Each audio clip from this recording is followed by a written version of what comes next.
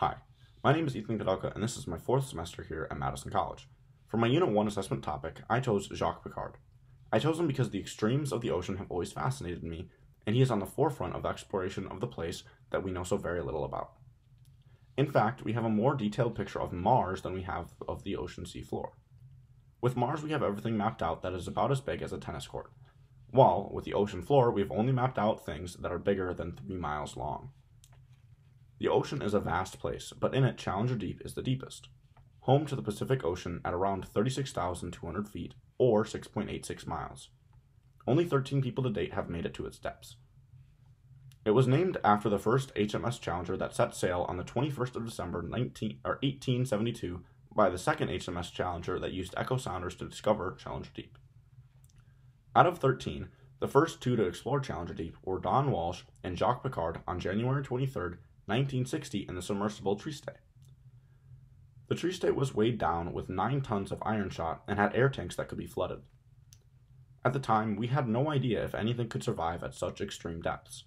The pair took eight took 4 hours and 48 minutes to dive down to a depth of 35,810 feet.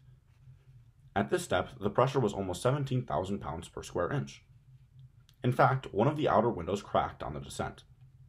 On the way down, Piccard recalled hearing cracking noises and seeing foot long flatfish and even shrimp.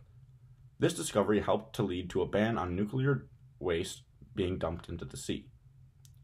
Once they reached the seafloor, it stirred up so much sediment that they described it as if someone had painted their viewport white. After spending around a half hour on the bottom, they began their journey to the surface, which took them 3 hours and 17 minutes. This historic trip was the final part in the U.S. Navy's Project Nekton.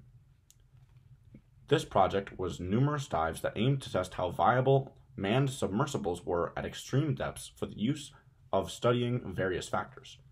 These factors include pressure, temperature, sound, and sea life.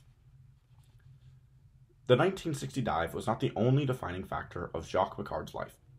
A year later, he released an autobiographical account of the project titled Seven Miles Down. Later on in life, he also established a foundation based in Cully, Switzerland, that aimed for the study and protection of seas and lakes. Unfortunately, Jacques Piccard died on November 1, 2008, living to the ripe old age of 86. It took 54 years for the next person to dare to reach the depths of Challenger Deep, after Piccard and Walsh. In 2012, director James Cameron became the third person to reach Challenger Deep with his solo dive. More recently, in 2020, Kathy Sullivan became the first U.S. woman to walk in space, as well as now the first woman to reach Challenger Deep.